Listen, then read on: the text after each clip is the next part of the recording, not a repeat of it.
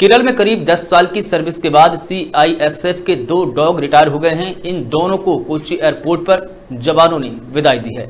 इस पूरे मामले से जुड़ा एक वीडियो भी सामने आया है, जिसमें देखा जा सकता है कि अधिकारी इन दोनों डॉग्स को माला पहनाकर उनका सम्मान कर रहे हैं।